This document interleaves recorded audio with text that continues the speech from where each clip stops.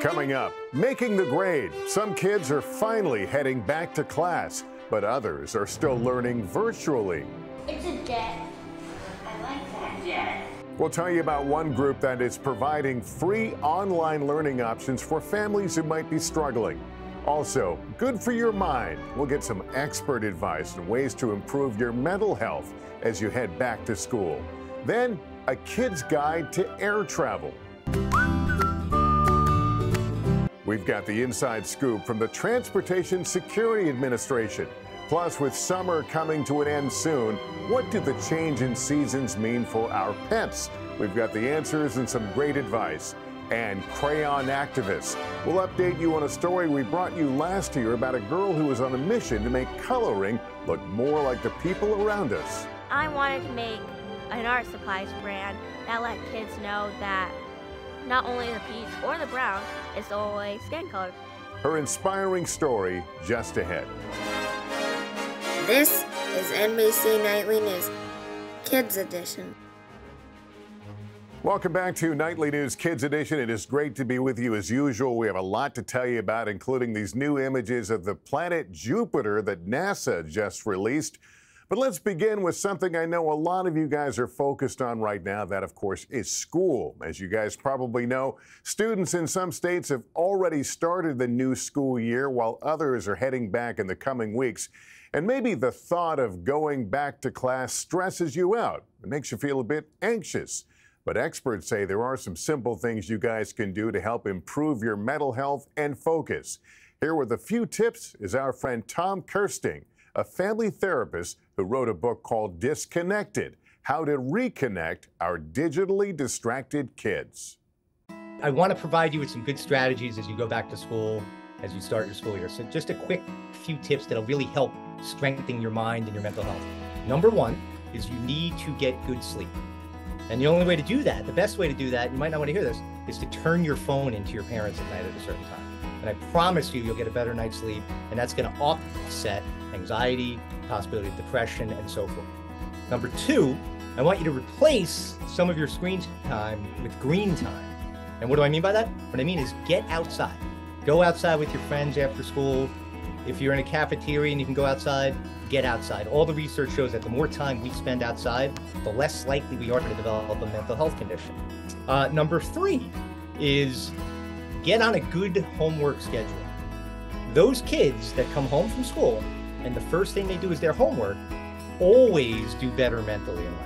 Because they're not they don't have things weighing on their mind they're not doing the things that please them first they get the schoolwork work out of the way and they're always going to do better in school which is going to uh, elevate your confidence. And last but not least embrace boredom. And what i mean by boredom is the silence. We never take time to decompress. We're always distracted take 10 or 15 minutes each and every day sit with yourself, and that's how you'll get to know yourself. That's how you'll develop a strong sense of self, a strong self esteem. Trust me on this, and you will have a great, phenomenal start to the school year. Tom, thanks so much. Really great advice. Well, as we mentioned, some kids across the country are already back in the classroom, while others are technically back, but still at home learning virtually. Well, with the help of our sponsor, the Walton Family Foundation, we learned about one group that has partnered with an educational platform and is providing free online learning options for families who could use some help. Our good friend Kristen Dahlgren tells us what it's all about. It's a jet. I like that jet. Six year old Landon spends every Friday morning building. We made a list of some ideas and things we might find at our house. From the comforts of his home, Landon learns virtually through an online educational platform called OutSchool. Do you have one of these pieces? OutSchool.com offers thousands of live online classes for kids ages 3 to 18. The classes are small in size, and there's a wide variety of subjects, something Landon's mom, Tika, who homeschools her children, appreciates. What was the theme today in your class with Ms. Rachel? Whether it's a foreign language, instrument, music lessons. He takes several different classes, but his favorite is his Lego club. You can take classes on anything from the science of frogs to the science of farts, even. um, on various classes on on Black history, on science, math, really you name it. If you're passionate about it, you can take classes on OutSchool. And at outschool.org, we work to make sure that any kid can take those classes, even if their family or they don't have the ability to pay. For those who can't afford to pay for the classes, the nonprofit outschool.org provides free online learning options for families in need. Price isn't a barrier to take classes on OutSchool, and we also work to make sure that any online virtual learning that takes place um, is also more affordable to, to parents and families. Was inside the building, right? We're trying to get inside of it. It definitely has helped, especially during COVID, when they were not able to meet with peers. It kept them engaged. Outschool.org launched in March 2020, right at the start of the pandemic. Since then, more than $5 million worth of free online classes have been given to over 30,000 low income American families or those needing additional access to financial resources. We've done our best to, to serve um, any family in the United States that we, we can who has this need and knows of, of our service. In addition to affordability, parents also credit OutSchool for offering classes that much more closely match their child's learning style and passions. I was drawn to it because they still taught what, you know, um, public school usually teaches, but kind of in a more exciting way. And that's the way that Liam learns. He needs to be able to apply it to his own reality. Susie's nine year old son Liam is homeschooled and is passionate about the science class he takes. It's called Tiny Science. I really like it. There's a ton of facts in it. And Liam loves learning about bugs. An entomologist is a person that studies insects. Entomology is the study of insects. And so, since he is so interested in entomology and uh, nature science, we were able to find that for him. And so, we bypassed the regular, you know, science classes that might have bored him in a way and might actually have pushed him away from science. But now he is a true scientist because he was so fascinated by insects and he can identify any insect. Um, Most insects. yeah, a very wide variety of insects. And that's just because his passion was encouraged and ignited by this teacher. Parents say OutSchool offers flexibility and allows kids to learn at their own pace. There's no rush to force this learning on you. It'll it'll happen when when it happens for you. Landon is also learning to engage with different ethnicities, different age. So I believe that OutSchool provides him with the structure and the socialization that he'll actually need as he gets older and he goes out. And it's that sense of engagement that remains at the head of the class for some families. Not surprisingly, a lot of families had really difficult times navigating uh, COVID and the learning environment post COVID. And a lot of families didn't have the resources to really make their children feel engaged and connected. And the joy, not only are we connecting kids to live instructors, but we also connect them to other kids and to other learners uh, around the world who are interested in, in the same thing. All right, Kristen, thanks so much. Let's head now to outer space. Check out these incredible new images of Jupiter. NASA released these pictures taken by that brand new James Webb Space Telescope, showing a stunning Jupiter that will give scientists more clues to the planet's inner life. Did you know that Jupiter is the largest planet in our solar system? And here's a fun fact NASA says if Earth was the size of a grape, Jupiter would be the size of a basketball. Wow, those are amazing pictures. Well, if you and your family traveled this summer on an airplane, you might have experienced some turbulence in the form of airport delays, or maybe your flight was canceled. And kids, you may also recall the folks in the blue shirts who helped guide you through security, sending your stuff through x ray machines, making sure there was nothing that could cause problems on board the plane. Those folks are with the Transportation Security Administration. They're called TSA agents. Well, TSA is doing its part to cut down airport delays by helping both kids and grown-ups be ready when they get to the airport. and also have a little fun along the way. Joining us now is Janis Burl, the social media branch manager for the TSA. She's also known as the Princess of Puns and Teller of Travel Tips. I don't know how you get that on a business card. Janis, so great to have you on today. Thanks for being here.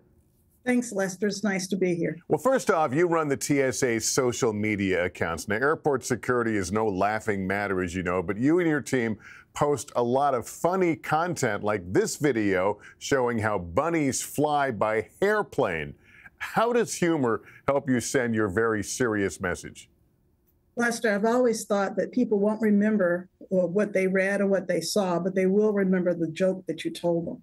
So my goal is to make sure that people remember the travel tips. So when they get to the airport, they can get through security quickly and smoothly. And I know people are actually sharing this online. What has the feedback been uh, from the public to your approach?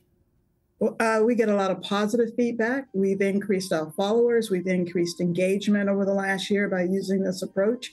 And most importantly, we get people to listen and to chat with us so that when there is something really important that needs to get out other than the travel tips, we can get that message to a mass amount of a, vast amount of people. And I know that's so important. It's been a pretty challenging summer, as I mentioned, for travelers. The, the, delays, the flight cancellations, traveling can be stressful. So you guys at the TSA produce some new videos designed just for kids to try to make the travel process a little bit easier. Let's watch one.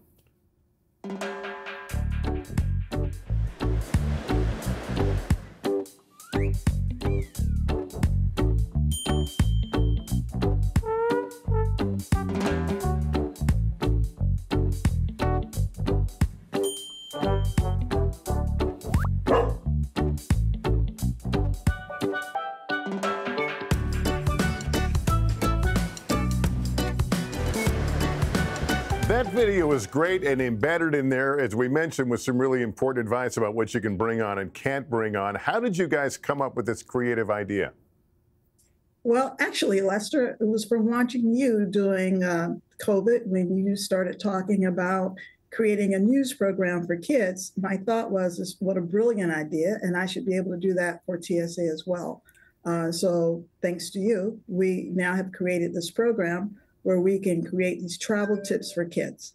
Well, that's terrific. I'll take that as a compliment. Thanks so much for that. A lot of kids and grown-ups are bound to get hungry when you're flying. And you have a video explaining what kids should know about packing snacks. Let's watch this one.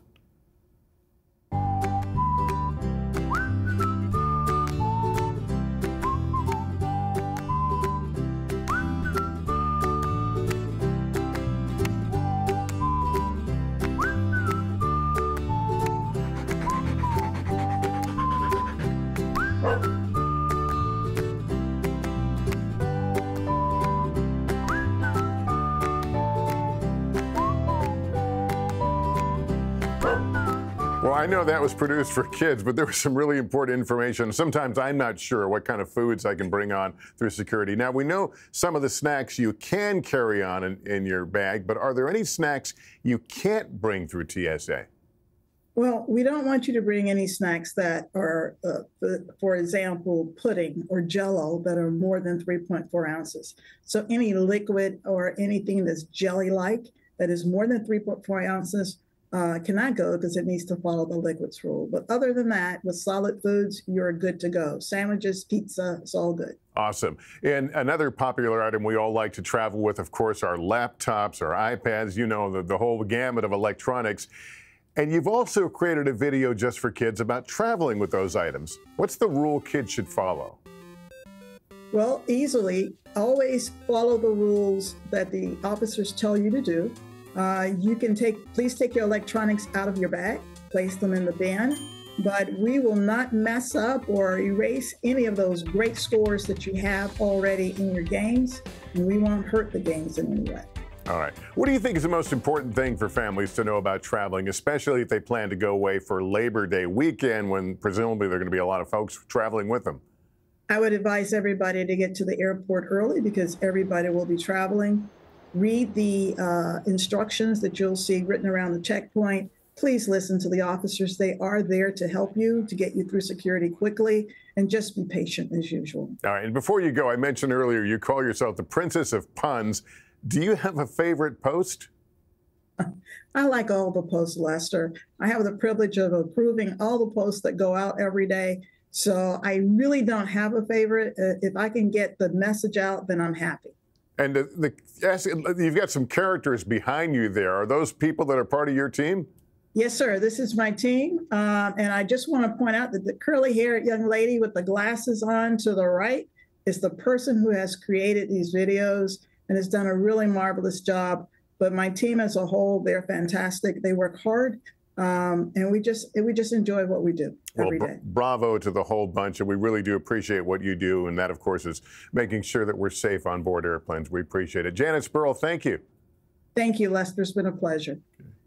All right. Well, did you know August is National Dog Month? It reminded us that fall will be here before long, and that affects our pets' routines as well as ours. So, how can our four legged friend stay active, rain or shine?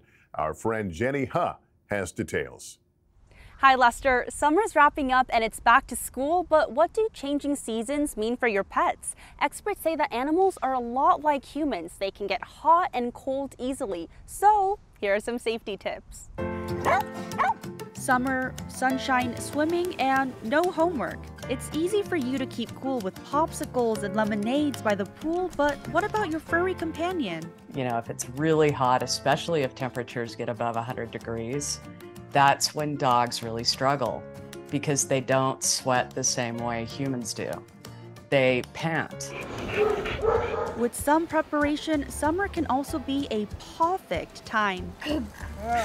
First, your pets should always have water and shade. Try to limit your pet's exposure to the outdoors to early in the morning or late in the evening when the temperature is relatively cooler. And when it's hot, you never want to leave them outside for too long, especially in the car. Never leave a pet in the car even in just a few moments, the temperatures can become deadly. Even if the windows are open and air conditioning is on, experts say temperatures in a car can rise 20 degrees in 10 minutes and 40 degrees in one hour.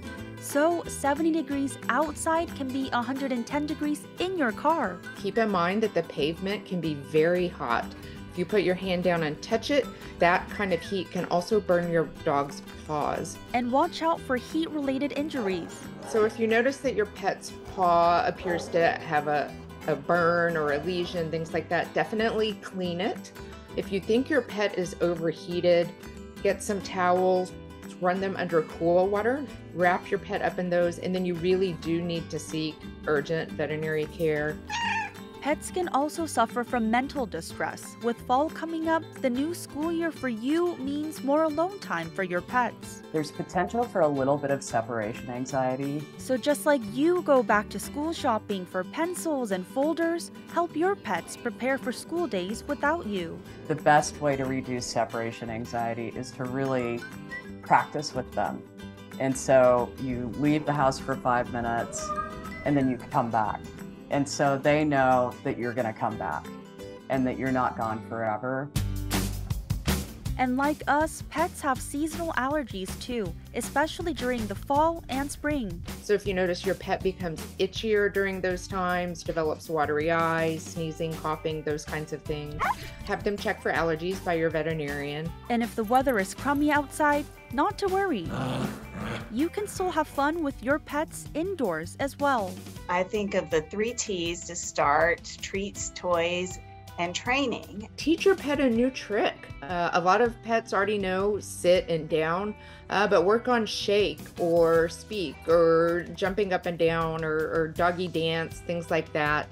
A lot of cats like feather toys and laser pointers. And if you don't have a pet, you can still help our furry friends at your local animal shelter. Fostering is a great way to teach kids responsibility and compassion for the animals and let them have hands on animal handling experience. But don't forget that no matter when and where, your pets are a lot like you. If I'm uncomfortable with the heat or cold, my pet is probably going to be uncomfortable too. So, again, it's just that common sense. Happy National Dog Month to all you pet owners and your fluffy friends. Okay, Jenny, thanks so much. Great information. Finally, in our Inspiring Kids series, an update on a story we brought you last year about a girl who was on a mission to make coloring look more like real life. Belen Woodard was coloring in her Loudoun County classroom a few years ago when she realized something was missing from the crayon box. Her third grade classmate asked for the skin color crayon, but there wasn't a color that matched her own. I heard my classmates call the peach crayon the skin color crayon, and yeah, I know that it is a skin color, but it's not the only one. And so I kind of felt confused. So she decided to do something. I'm the world's first crayon activist, and what an activist is to me is like someone who's active in making a change. And I call myself a crayon activist because I like to say I'm changing the world one crayon at a, at a time. Thanks to Belen's creativity and drive, she and other kids now have more options. If I were to color myself right now, I would use Skin Color Sahara. Belen created the More Than Peach Project, her own line of crayons that reflect the different shades we all come in. So, in this pack, I have Skin Color Denali, and then Skin Color Serengeti, Skin Color Andes, and Skin Color Reef. She came up with 12 colors. Each have different names with skin color in the title, so kids know that each one is the skin color crayon. The middle schoolers' More Than Peach line also includes other art supplies. I wanted to make an art supplies brand that let kids know that not only the peach or the brown is the only skin color. There's all these different shades and and you just want to make sure that when you're coloring you can see you and not someone else. And now she's published a book about her experience. Does anyone have the skin color crayon? My friend asks. Some call it the skin color crayon. I've heard it many times before. But this time, when I pass the peach color crayon to him, something in me feels different. She hopes the picture book can teach young kids the importance of inclusion. It was important for me to write this as a book because if kids learn when they're younger, then when they're older, they'll be able to teach other kids and to really just make spaces better because there's always room for improvement. And she also hopes to inspire other kids to do something. You can do anything you set your mind to and to do it your way and not anyone else's way because there's really there's not a right, there's not a right way to do something. And just to keep on inspiring people and if you have a problem, it's not just going to go away. You actually have to do something about it and who knows, there could be more people who has that problem and you're helping not only yourself but helping others. Well, that's going to do it for us. We hope you learned a few things, also had some fun along the way. Parents, just a reminder if your child has a question about any topic in the news, email a video to us at nightlynewskids at nbcuni.com. We'll try to answer them in an upcoming episode. And you can also follow us on Instagram at nightlykids. Thanks for watching, everybody. Remember to take care of yourself and each other. So long.